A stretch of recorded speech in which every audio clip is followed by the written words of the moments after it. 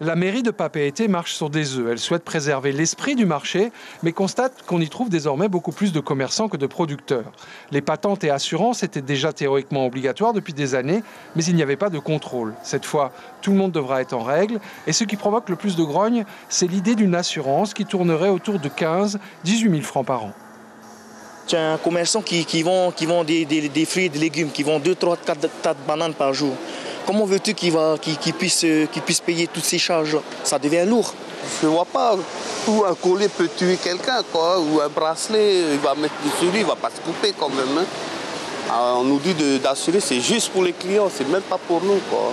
Lorsqu'on a peut-être, je sais pas, des produits qui peuvent être périmés, qui sont vendus et qui peuvent donner lieu à de l'intoxication, donc il peut y avoir des plaintes quand il y a euh, on n'est pas à l'abri du feu aussi quand on fait de l'artisanat et quand euh, on, manipule de l'inventerie.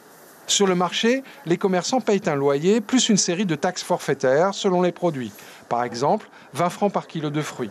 La mairie reconnaît qu'il y a eu des pressions exercées notamment par certains magasins des alentours qui jugent comme déloyale la concurrence du marché.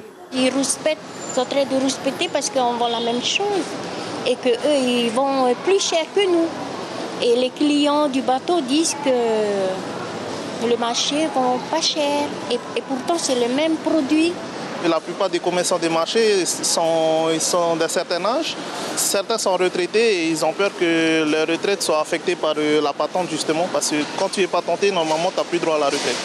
En fait, selon la CPS, prendre une patente ne change rien à la retraite de base, mais suspend effectivement une allocation complémentaire de retraite qui est de 30 000 francs par mois. Bref, consciente que le mécontentement est réel, la municipalité pourrait être souple sur l'échéance qu'elle a fixée à la fin du mois de janvier. L'information, on continue sur Polynésie la première, Internet et réseaux sociaux.